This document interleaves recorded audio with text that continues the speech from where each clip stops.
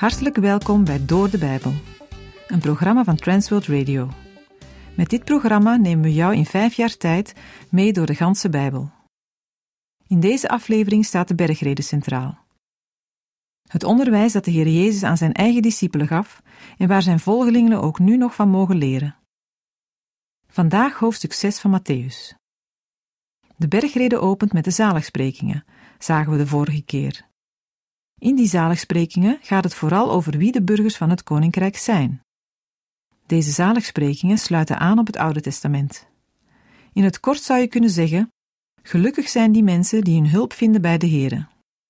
Als een rode draad door de zaligsprekingen heen zien we de Heer Jezus zelf. Hij heeft in zijn leven laten zien hoe een leven volgens deze normen eruit ziet.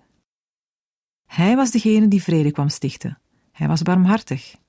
En omdat Hij barmhartig voor ons is, kunnen wij dat ook voor anderen zijn. Zo zijn alle zaligsprekingen van toepassing op Hem. Hij is daarin ons grote voorbeeld. De Heer Jezus vermeldt nog meer in zijn toespraak. Hij zegt dat we het zout en het licht in de wereld mogen zijn. Dat geldt in elke tijd en in alle omstandigheden. Op verschillende manieren mogen we het woord van God uitdragen in ons leven. Alles met het doel dat de mensen om ons heen ook diezelfde God zullen eren. Zo komen er nog allerlei onderwerpen aan bod. Matthäus 5 eindigt tenslotte met de eenvoudige woorden: Wees volmaakt, zoals ook uw hemelse Vader volmaakt is. Dat is de norm. Zo'n leven draagt vrucht en brengt zegen aan de mensen eromheen. We realiseren ons tegelijkertijd de onhaalbaarheid ervan.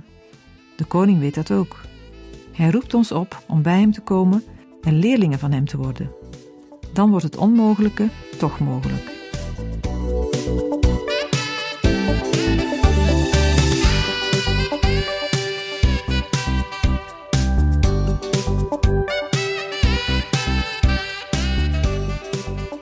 In Matthäus 5 hebben we gezien dat de koning spreekt over de gerechtigheid die zijn onderdanen moeten bezitten.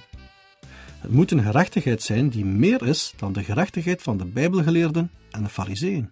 Zo'n gerechtigheid wordt alleen ontvangen door te vertrouwen op de Heer Jezus Christus. In Matthäus 6 gaat het nu over het in de praktijk brengen van het geloof en de godsdienst. Hoe moeten de onderdanen van de koning de ontvangen gerechtigheid uitvoeren? Het praktiseren is daarbij niet op mensen gericht, maar op God. Hoe zijn gelovige mensen bezig inhoud te geven aan hun relatie met God? De onderwerpen die in Matthäus 6 aan de orde komen, zijn heel praktisch. Het gaat over het geven van aalmoezen, over bidden, vasten, omgaan met geld, denken aan en zorgen voor de toekomst. Als eerste begint de Heere Jezus over het geven van aalmoezen. In onze vertaling wordt het liefdegave genoemd. Een aalmoes of liefdegave is verlenen van geld of andere materiële hulp aan armen. Matthäus 6, vers 1. Wees op uw hoede dat u uw liefdegave niet geeft in tegenwoordigheid van de mensen, om door hen gezien te worden. Anders hebt u geen loon bij uw Vader, die in de hemelen is. In de eerste versen van Matthäus 6 bespreekt de Heere Jezus de drie belangrijke werken van de gerechtigheid, van de godsdienstige plichten. Zoals de Fariseeën die zagen. Zij zagen het geven van aalmoezen, het bidden en het vasten als de voornaamste godsdienstige plichten. Ook de profeten hebben dat verkondigd. Maar de fout van de Fariseeën was hun motivatie. Zij deden de goede werken om bij de mensen op te vallen. Omdat ze op eigen eer uit waren, was er geen sprake van goede werken uit het hart. Een aalmoes of een liefdegave zou een vorm van het betonen van barmhartigheid of medeleven moeten zijn. Zie het alsof iemand iets doet voor jou omdat het van hem of haar verwacht wordt, of omdat die persoon echt om je geeft.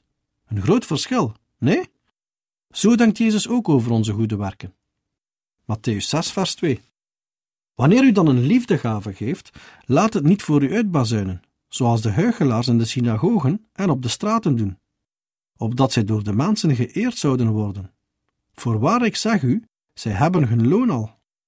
De Heere Jezus zei dat als de Fariseeën het op zo'n manier doen, ze hun beloning al hebben. Wat was dat voor beloning? Wat wilden ze graag? Ze wilden door de mensen geprezen worden. Er zijn meerdere manieren om te geven. Welke motieven hebben wij om te geven en goede doelen te ondersteunen? Geven is een zaak tussen jou en de Heere God. Als het meer om roem van mensen gaat, dan is er van God niets meer te verwachten. Daarom hebben zij hun beloning al ontvangen. Matthäus 6, versen 3 en 4. Maar als u een liefdegave geeft, laat dan uw linkerhand niet weten wat uw rechterhand doet, zodat uw liefdegave in het verborgene zal zijn. En uw vader, die het verborgene ziet, zal het u in het openbaar vergelden. Een mens moet zich niet alleen onthouden van het zoeken van eer van mensen. Een mens moet zich ook onthouden van het prijzen van zichzelf.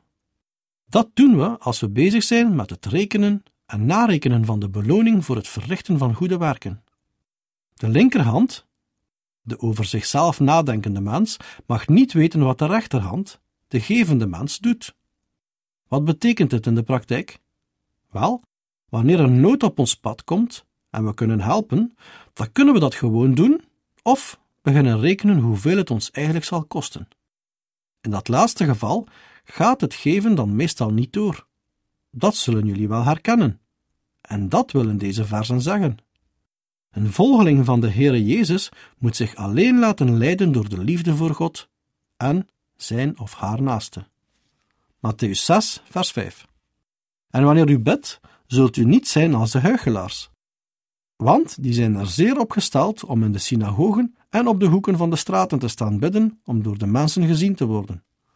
Voorwaar, ik zeg u dat zij hun loon al hebben. De Heere gebruikt stevige taal.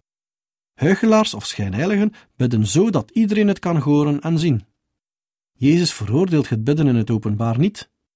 Dit vers wordt wel eens misbruikt door mensen die liever niet naar een bidstonden komen. Wat Jezus veroordeelt is een soort toneelgebed. Dat wil zeggen, iemand die bidt om door de mensen gezien en gehoord te worden. Matthäus 6, vers 6. Maar u, wanneer u bidt, ga in uw binnenkamer, sluit uw deur en bid tot uw vader, die in het verborgene is. En uw vader, die in het verborgene ziet, zal het u in het openbaar vergelden. Een binnenkamer is eigenlijk de voorraadkamer. Zo'n voorraadkamer was ook de ruimte waar men de meest waardevolle eigendommen bewaarde. Hier hoort de waardevolle schat van het gebed thuis. Natuurlijk, de plaats van het gebed is belangrijk, maar wij kunnen overal tot God bidden. Niet de plaats is belangrijk, maar de afzondering. Het onbekende innerlijke van een mens. Ik ben ervan overtuigd dat bij het oordeel er veel trouwe strijders zullen bekend worden. Mensen die in de kerk onopvallend waren, maar die door hun veel en trouw bidden meer gestreden hebben dan de meeste anderen.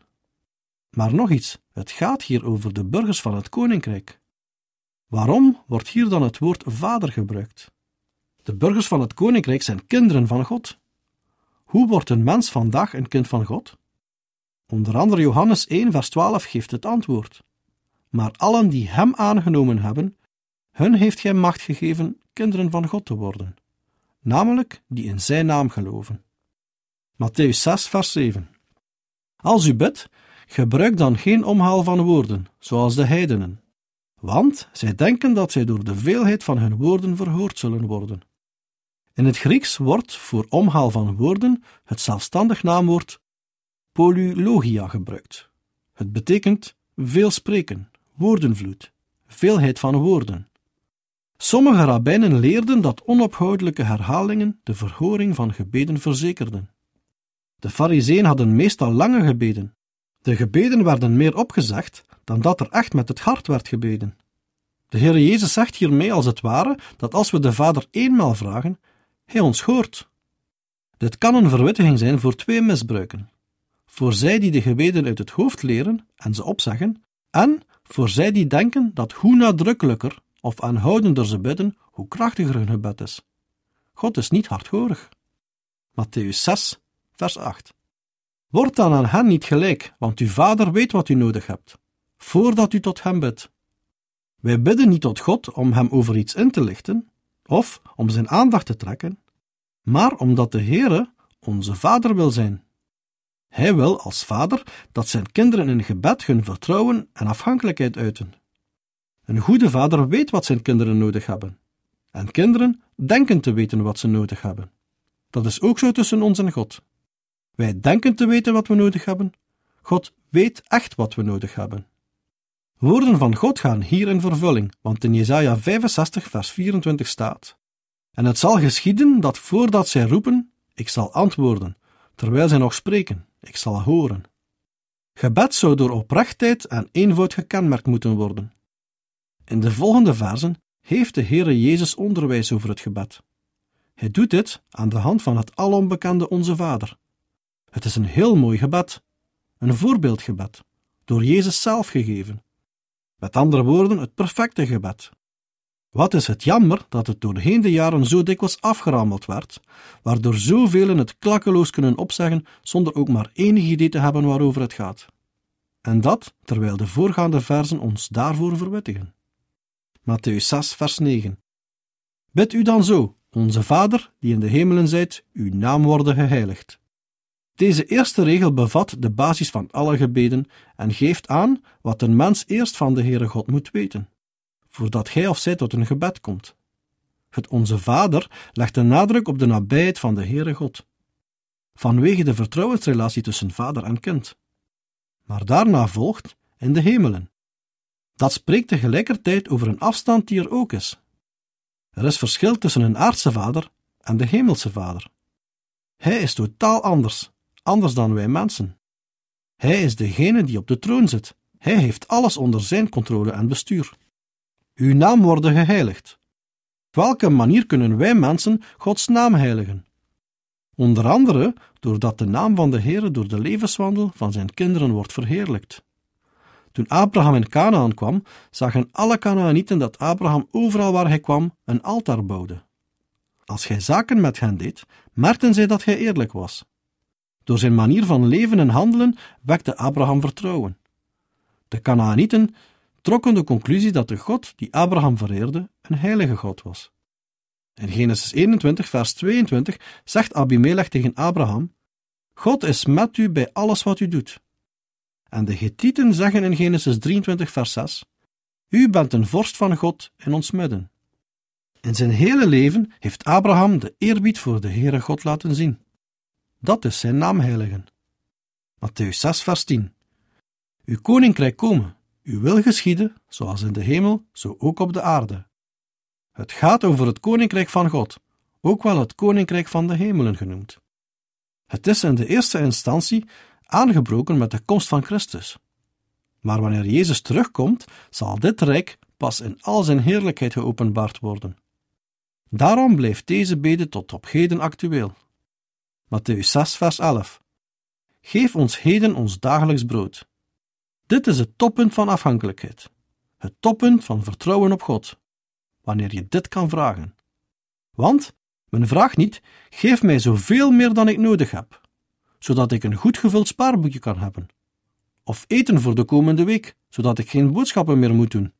Nee, dagelijks brood. Vertrouwen op God, elke dag. Matthäus 6, vers 12. En vergeef ons onze schulden, zoals ook wij onze schuldenaren vergeven. Jezus hoefde dit niet te bidden, hij had geen zonde die vergeven moest worden. Het is een gebed om genade. Zo leert Jezus zijn discipelen bidden. Met dit gebed wordt mensen geen vergeving geschonken omdat zij anderen vergeven, maar met dit gebed wordt gevraagd om vergeven te worden, zoals ook anderen door ons worden vergeven. Jezus vindt het zo vanzelfsprekend dat wij anderen vergeven, dat gij wil dat we het bidden, uiteraard met een oprecht hart.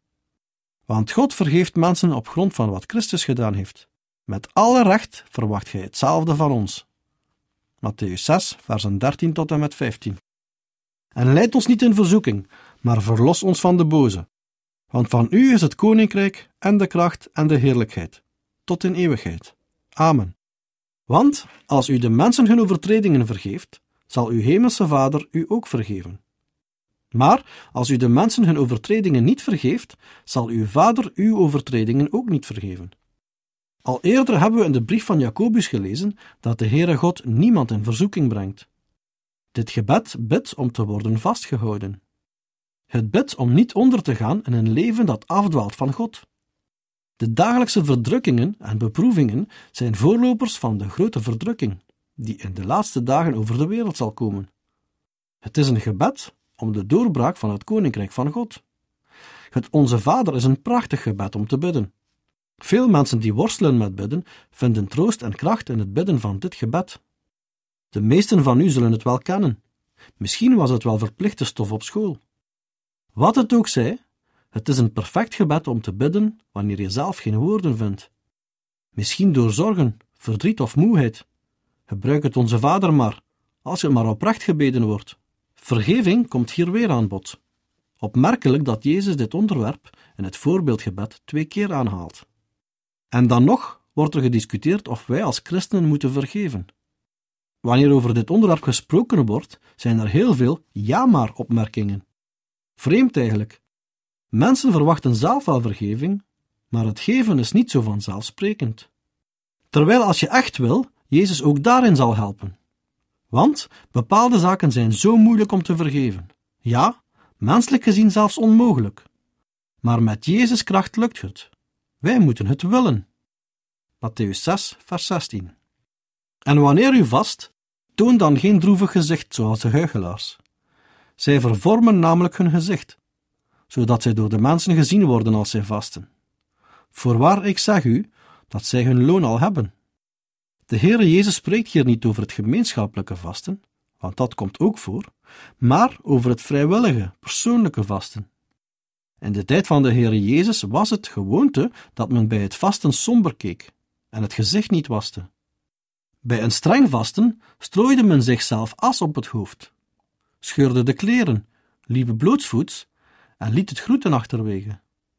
Deze vorm van vasten was zo opvallend dat de Romeinen het zelfs belachelijk maakten door het te imiteren in hun theaters. Vasten is geen theater. In Jesaja 58, vers 6 en 7 staat: Is dit niet het vasten dat ik verkies? Dat u de boeien van de goddeloosheid losmaakt, dat u de banden van het juk ontbindt, dat u de onderdrukten vrij laat heen gaan en dat u elk juk breekt?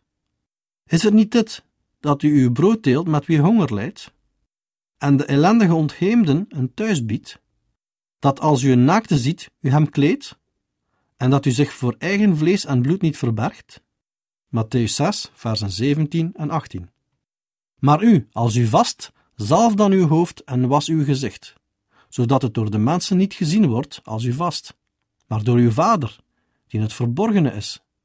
En uw Vader, die in het verborgene ziet, zal het u in het openbaar vergelden. Uit het feit dat de Heere Jezus direct na het bidden over het vasten spreekt, blijkt dat hij de nauwe relatie tussen vasten en bidden handhaaft. We zien dat in verband met vasten dezelfde toon verder gaat. Het hart taalt, meer dan de daad. Matthäus 6, versen 19 tot en met 21. Verzamel geen schatten voor u op de aarde, waar mot en roest ze verderven, en waar dieven inbreken en stelen. Maar verzamel schatten voor u in de hemel, waar geen mot of roest ze verderft, en waar dieven niet inbreken of stelen. Want waar uw schat is, daar zal ook uw hart zijn. Heel wat mensen denken dat schatten niet op een geestelijk aspect kan slaan. En als je erover praat, het alleen over iets materieels gaat. Maar de Heere Jezus zegt dat we onze schatten in de hemel moeten verzamelen. Hoe doe je dat? Wel, dat doet een mens door het werk van de Heere hier op aarde te doen. Jezus verbiedt het bezitten van aardse eigendommen niet, maar raadt het verzamelen van kostbaarheden op aarde af. In de eerste plaats heeft het geen nut voor onze eeuwigheid. Zelfs niet-gelovigen weten dat. Jullie hebben zeker al de uitdrukking gehoord: je kan het toch niet meenemen als je dood bent. Iedereen weet het, en toch. Wereldse rijkdom of welstand willen verwerven maakt zoveel mensen tot slaven, terwijl het werk voor zijn koninkrijk van eeuwige waarde is. Matthäus 6, versen 22 en 23. De lamp van het lichaam is het oog. Als dan uw oog oprecht is, zal heel uw lichaam verlicht zijn. Maar als uw oog kwaadaardig is, zal heel uw lichaam duister zijn. Als het licht dat in u is, duisternis is, hoe groot is dan de duisternis zelf? Hoe kan een mens het oog zuiver bewaren? Door het woord van God. In Psalm 119, vers 105 lezen we: Uw woord is een lamp voor mijn voet en een licht op mijn pad. Een gebrek aan het menselijk oog heeft ingrijpende gevolgen voor het dagelijks leven. Wat zullen de gevolgen zijn als een mens geestelijk blind is? Gauw vast aan het woord. Matthäus 6, versen 24 en 25. Niemand kan twee heren dienen, want of hij zal de een haten en de ander liefhebben, of Hij zal zich aan de een hechten en de ander minachten. U kunt niet God dienen en de mammon. Daarom zeg ik u: wees niet bezorgd over uw leven, over wat u eten en wat u drinken zult. Ook niet over uw lichaam, namelijk waarmee u zich kleden zult. Is het leven niet meer dan het voedsel en het lichaam meer dan de kleding? Wat betekent het dienen van twee heren? Velen proberen een combinatie van de twee. Ze willen wel wat Jezus aanbiedt en ook de eeuwige beloning, maar toch willen ze ook wel genieten van alles wat de wereld te bieden heeft. Ken je dat? Tijdens de week alles geven voor de carrière. Geloof past helemaal niet in de planning. Zaterdag is dan voor de ontspanning, want we hebben toch een ganse week gewerkt. En dan de zondag. Enkel de zondag, kerk. Sommigen zijn dan nog verbaasd dat ze zo weinig merken van Jezus' liefde in hun leven. Nee, dat lukt niet. Velen hebben het geprobeerd. Maar het is zoals deze versen zeggen: ene zal uiteindelijk het andere verdrijven. Opmerkelijk dat deze versen dit koppelen aan bezorgdheid. Wel, wanneer een mens denkt dat hij of zij inderdaad voor alles zelf moet zorgen, en zodoende te weinig op God vertrouwt, dan zal alle aandacht ook naar wereldse zaken gaan. Bezorgdheid zorgt er niet enkel voor dat we verkeerde keuzes maken in ons leven, het is eigenlijk ook nutteloos. Dat illustreren de volgende versen. Matthäus 6, versen 26 tot en met 30. Kijk naar de vogels in de lucht. Zij zaaien niet en maaien niet, en verzamelen niet in schuren. Uw hemelse vader voedt ze evenwel. Gaat u ze niet ver te boven? Wie toch van u kan met bezorgd te zijn één el aan zijn lengte toevoegen? En wat bent u bezorgd over de kleding? Kijk naar de lelies in het veld. Hoe ze groeien. Ze werken niet en spinnen niet. En ik zeg u dat zelfs Salomo in al zijn heerlijkheid niet gekleed ging als een van deze. Als God nu het gras op het veld, dat er vandaag is en morgen in de oven geworpen wordt, zo bekleedt, zal hij u niet veel meer kleden, kleingelovigen? Als de Vader in de hemel voor de vogels zorgt, dan zal hij toch zeker zijn kinderen het nodige geven. Wij mensen kunnen leren van de dieren, onder andere van de vogels. Zij kunnen niet in schuren verzamelen, zoals wij mensen dat wel kunnen. Wij mogen zaaien, oogsten en verzamelen met dezelfde onbezorgdheid als een vogel heeft. Voor ons is het belangrijk dat we niet door het leven gaan met zoveel materiële dingen, die eerder een last dan een lust kunnen worden. Want God weet wat we nodig hebben. Zijn al die materiële dingen van ons echt allemaal nodig?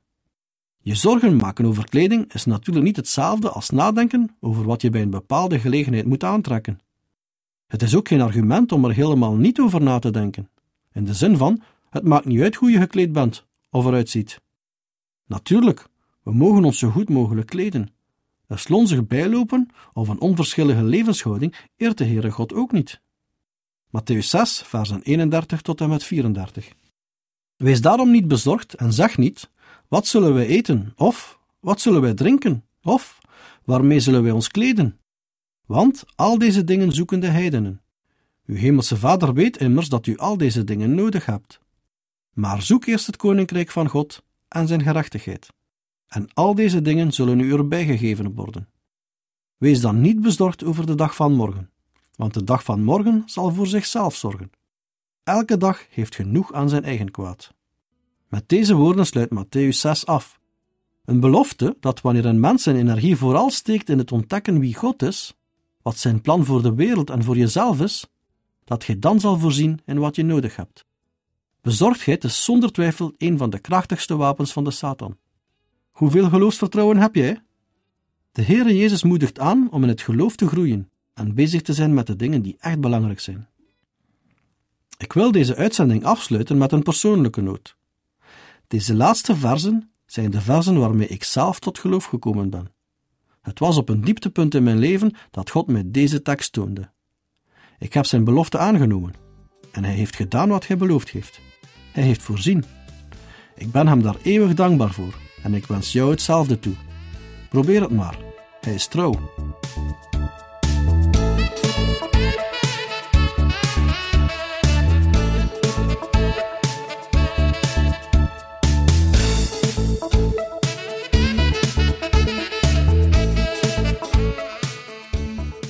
U heeft geluisterd naar Door de Bijbel, een programma waarin we in vijf jaar tijd de ganse Bijbel bespreken. De basis voor het programma is de Bijbelstudiereeks van Dr. Vernon McGee, Through the Bible. Deze werd in het Vlaams vertaald en bewerkt door Transworld Radio. U kan elke werkdag naar een nieuwe uitzending luisteren en u kan ook steeds voorbije uitzendingen opnieuw beluisteren of downloaden. Als u wilt reageren op deze uitzending of u heeft vragen, dan kunt u uiteraard contact met ons opnemen. U kan een e-mail sturen naar doordebijbel.twr.be. Verder kan u op onze site terecht, www.twr.be, voor meer info en het beluisteren van onze overige programma's. Dit programma werd gepresenteerd door Patrick Couchement en Anne Notenboom. Wij danken u voor het luisteren en graag tot een volgende keer.